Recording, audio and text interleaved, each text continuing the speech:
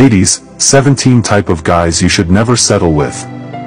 Ladies please make sure to avoid these type of guys. Number 1. Don't settle with a man whose decision always depends on the opinion of his parents, friends, or relatives. Number 2. Don't settle with a man who is not proud of you in public. Number 3. Don't settle with a man who can't fight for you. Number 4. Don't settle with a man who can't defend you and protect you. Number 5. Don't settle with a man who yells and shouts at you, including a man who blackmails, or humiliates you. Number 6. Don't settle with a man who can't show respect for you. Number 7. Don't settle with a man who can't make effort, time and sacrifices for you.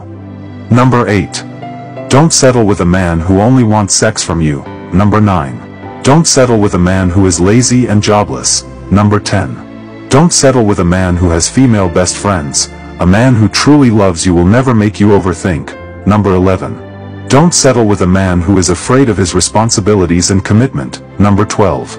Don't settle with a man who hides his emotions and feelings from you.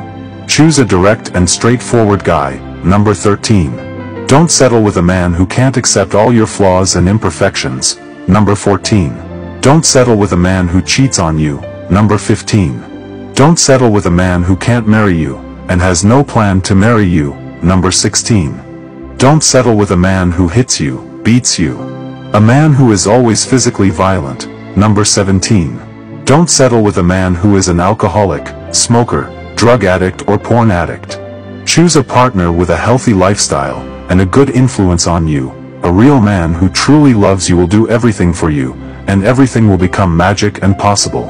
You only live once, set your standards high, make sure you share this post, you might just be saving someone somewhere. Did I forget to mention any point? Or you have any question? Tell us on the comment. God bless you.